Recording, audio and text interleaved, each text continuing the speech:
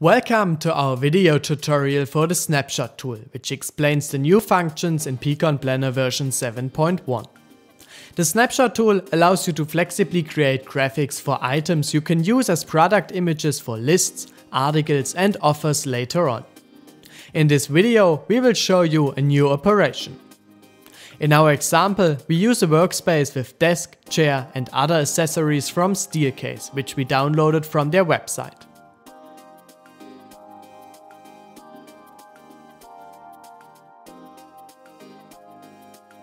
You can now save your own perspective or the default view of a product as an image file on your computer. Furthermore, you can insert any product image as a preview for the product list. To do this, click the button Load Image and select a suitable product representation from an image file.